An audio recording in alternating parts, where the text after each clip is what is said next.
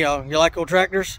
I got a one that's pretty rare and I've been around Fords my whole life. I've never seen one. So I'm kind of excited to bring this one to you because it's new to me.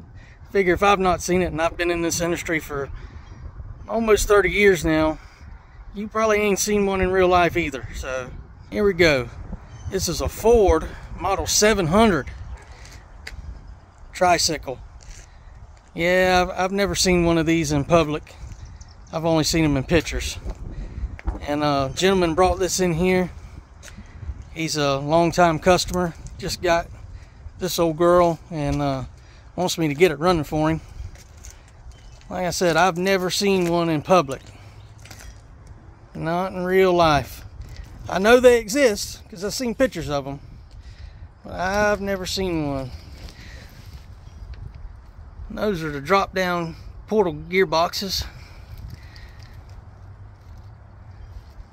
It's got kind of a nice sway link type contraption there. Never seen that either. Like I said, I, I worked for New Holland for years, even back when it was still Ford.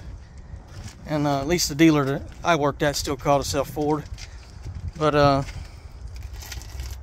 I worked on a pile of these and I've never seen one of these. So I figure I'd bring this old gal to you. Like I said, I'm pretty excited. It's really not in that bad a shape. There's your badge, 700. I've never seen one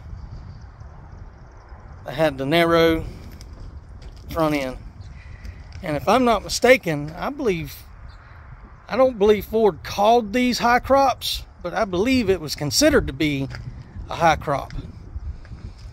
So, uh, if you've seen one, know anything about them, like I said, this just come in, and uh, I haven't done any research on it. I was just excited to bring it to you fellas, and fellettes, if you know where I get that from.